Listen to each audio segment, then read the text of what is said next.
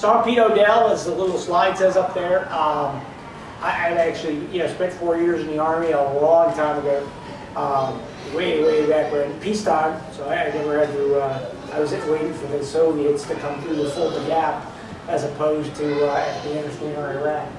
But uh, luckily never happened. So, But I, I do a bunch of consulting, do a lot of cybersecurity work and a whole number of other things. I just wrote a new book on cybersecurity.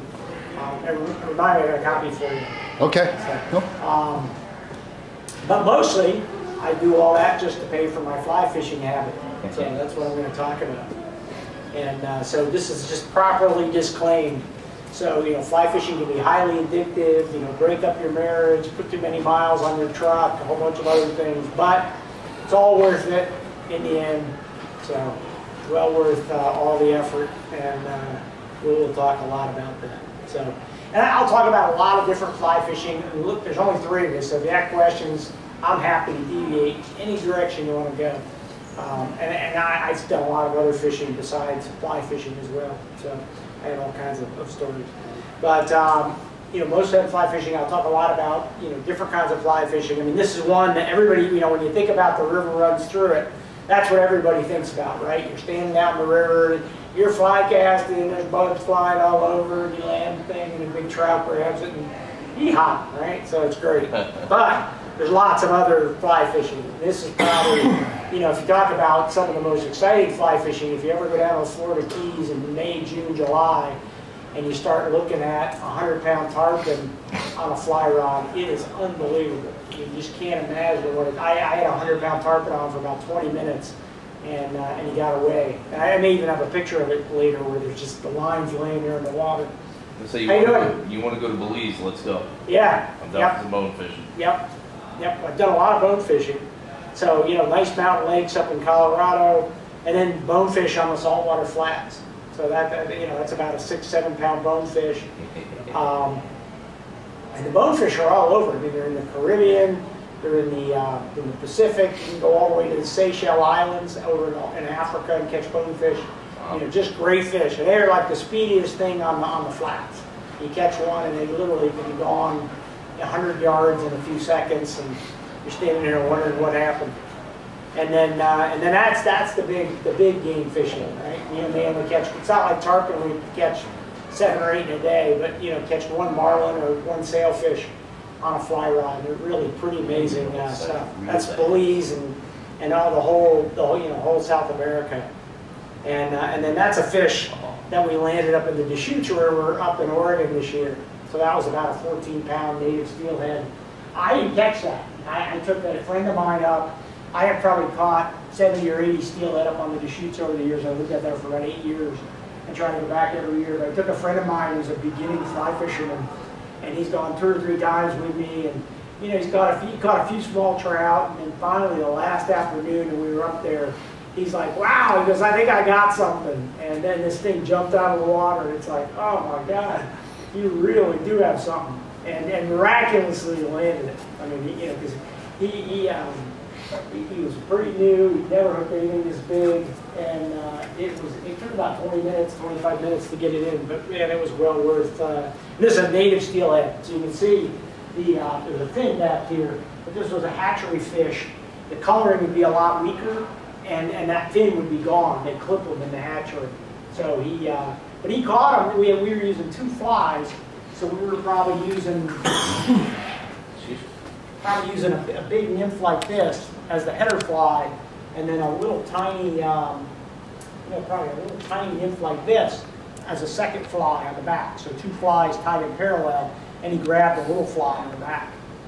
And uh, luckily he stayed, stayed stopped and We got him in. Andy was a happy camper. And since he's a major investor in my company, it helped me too. So, and then, you know, then if you get down to Florida, you know, Florida's got great bass fishery. You know, Lake Okeechobee, there's got to be 10,000 lakes down here. You just got fish in any canal, and there's bass everywhere. The, um, the other big bass spot I went to was the Amazon. So I spent a week down the Amazon River fishing for peacock bass, which would eat these. That's probably an 8 to 10 pound largemouth. We actually caught, I actually caught, I think, 227 fish over five days and uh, the biggest one was 19 and a half pounds. So I mean, you know, this big, and, and literally I had scars across my fingers from them just ripping, ripping line off. You had these 50 pound chests to keep them out of the, uh, the trees and stuff. I mean, it was incredible. We, we fished out of a little, uh, we had a big boat and then we had uh, four houseboats with two of us that slept in each one.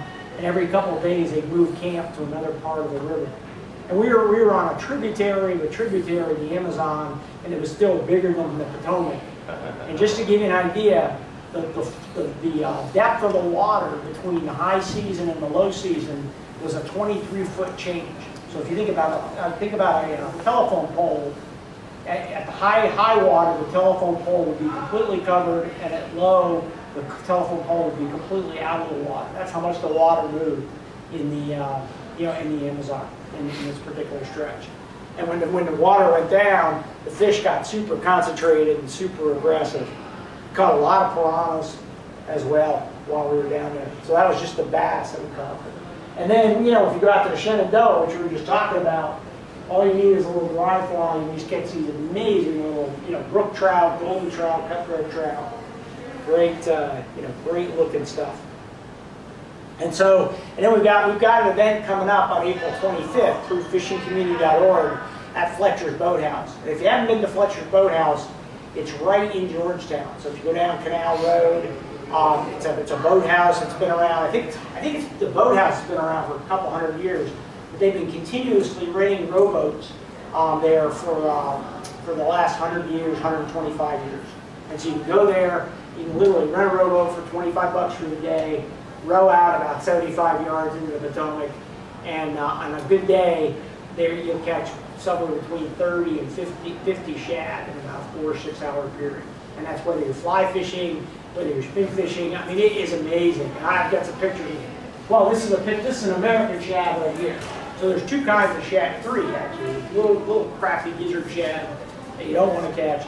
But there's hickory shad, which are really plentiful and then go somewhere between two and three pounds. And then there's these American shad, which go somewhere between four and seven pounds. So really, you know, both fish are in there. You, you can catch both. And then the nice thing is what, what follows the shad upstream, and this is all in April and May, so it's literally right now. We just caught the first shad about a week ago despite the terrible conditions. Um, the stripers follow the shad upriver. So you also got 40, 50 pound stripers in Fletcher's boathouse that you can hook up at the same time. You know, you typically need to use a different, you different lure. You know, for the shad, I don't know if I have a shad, a shad or a shad fly, but you just use a little, you know, like a little multicolored, you know, even a bonefish fly will work for the shad. You typically fish two of them, one behind the other. But last year I caught three striped bass. You know, one was 22 inches, one was 24 inches, and uh, you know, one was I didn't want to even measure. But, um, you know, they just grabbed the shad fly. But then, then I started fishing a big fly on the front a little fly in the back, and I was catching a striper and then shad on the little fly. So it's just the water's really deep. So if you're if you're fly fishing, you have to use a really heavy sinking line. You know, you cast across the current, you let it swing down, you let it sink, and then you start dripping back about six inches at a time. But on a good day, as soon as you get, if you get the boat in the right spot, literally every cast you're going to get, you know, hits or a hook a fish. So it really is one of the. You still tie up about a nine foot leader? I mean. Yeah, you don't need you, you don't need one that long. You could probably go with a five foot. Five. They, they wouldn't care. Are you going what more less than two, four x? I mean. How, I usually use um, eight or ten pound. Yeah. Mono. I don't even use a taper leader. I yeah, just tie on some tippet. Well, and that's you know that's why I was wondering, you know, building your own. Yep. How far down you go and what size? Yep. Yeah, and you, you, I, I fished as short as, as five feet of line on a leader, yeah. and that's they don't care. They, they they're hitting. They don't eat. Um, you know, they're coming up with these, these, these, The shad run is amazing. They used to, you know, back with George, if you go down to Mount Vernon and you do the tour, they'll show you where George Washington stopped everything in Mount Vernon for about four weeks, and they, they caught like 200,000 shad and used them for fertilizer. They smoked them, you know, did all this. I mean, it was an amazing event, right? And uh, and then in the in the 40s, 50s, and 60s here, the pollution just about killed them, and they've been rebuilding them ever since. And now we're getting hundreds of thousands of fish up up the Potomac. And uh, in fact, our event, we're going to have one of the uh, one of the guys from the uh, the Virginia restocking program. So what they do is they go out at night with a net, and they'll net them and then squeeze them, take the take the roe and then and, and fertilize it, and then ship them off to the hatchery. And they're using they're using the Potomac fish to rebuild all the stocks Oh, wow. in the Delaware, the Potomac, the Rappahannock, um, all these different rivers. So this this is really an amazing. You know, you, you- if you can't make this event, and, and you know we'll be out there for the whole day. Um, if you can't make this event, get, just get out there on a weekend. I mean, you rent boats. You typically got to get there fairly early, or wait until somebody you know gives up. They only have about 25 boats, but they're big rowboats. They hold three people, and uh, you know use big rocks as anchors. I mean, they're really, it's really a nice. Uh, it's a nice place. I, I think I'm gonna spend Friday afternoon there. Um, so, and then and then so and then these are some of the different kind of flies. So you know when we talk about fly fishing. Again, the classic is you drop this little tiny fly on the water and the fish comes up, he grabs it, and away it goes. Yeah, it's all great. There's lots of different ways to fish. I mean, these are great dry flies, you know, pretty classic ones. Um, you know, bass on a fly rod is fantastic. Snakeheads are unbelievable on a fly rod if you can get them to bite, and they're pretty spooky fish. But if you can get one on a fly rod, it's, it's an amazing, you know, amazing fighter. Um, you know, bonefish, peacock bass, um, all kinds of other stuff there on, the, on things. But most of the fish you're going to catch are below the surface, right? It's great to fish on top of the water. It's exciting to see them hit. But the reality is, you know, if you're out trout fishing, you know, say you go to the Bighorn River, right? I, I fished out there several times out, in- out in Montana, and it's, it's literally, it feels like a trout farm. You go out there and you catch 50, 60 fish in a day, and you catch them on these little tiny uh, nymphs. And the way you fish them is you typically, um, you see a little pink ball? Oh, here. So you typically tie a, um, an indicator at the, right where your fly line meets the, uh, the leader, and, uh, and then you drop your flies down about eight or nine feet, two of them, little, real small, a couple split shot, and you're, and you, so you're casting and you're just watching this, and when it goes down or jiggles, it's typically a fish grabbing. And on the bighorn, all they eat is little bugs. It's the only thing in the river. And so you're eating all day long. So the fish are just constantly grabbing these, these little tiny flies. Um, if you're old, it could be a real challenge to tie on. So usually got a guide, he does it. And then, and then, you know, then this is another different, different, completely kind of fishing. So it's streamer fishing. So, you know, again, you go down, I went down to Florida in, uh, in Mexico Beach in, um, in, uh, for Thanksgiving, and I, I just used, you know, a little fly like this, right? And, and a sinking line. So I, I had a, I had a, a inflatable kayak. I found this little inlet. I paddled out, you know, cast it out 30, 40 feet, let the thing sink for 15 seconds and started tripping it back. And there were fish everywhere. And you just never knew what you were going to get. I mean, I got sea trout, ladyfish, Wow. which is a, a little tarpon family fish that can go up to 26, 28 inches. Uh, it jumps like crazy, and they jump all over the place. Uh, bluefish, mackerel, um, yeah, probably, probably three or four other different species, and, and sea, and sea trout. And you just, you just never knew what was going to be on the end of the line. It was all cast and stripped with, uh, with streamers. So, uh, and then, you know, this is kind of what's going on around Virginia. So Virginia is not known as a great fly fishing place or a great fishing state, but it really is a tremendous amount of stuff here, right? You can fish the saltwater in Chesapeake Bay, you can fish the mountain streams, you can fish the Potomac, um, you know, really a big selection of, uh, stuff.